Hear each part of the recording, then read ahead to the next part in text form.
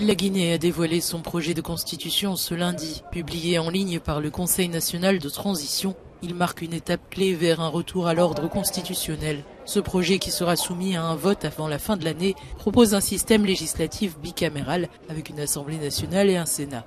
Il réaffirme des mesures progressistes de la Constitution de 2020, comme l'interdiction de la peine de mort et des mutilations génitales féminines, ainsi que le droit pour toute personne arrêtée d'être informée des raisons de son arrestation. Le texte impose également une limite stricte de deux mandats présidentiels de cinq ans chacun. Cependant, le statut du général Mamadi Doumbouya, au pouvoir depuis le coup d'État de 2021, reste flou.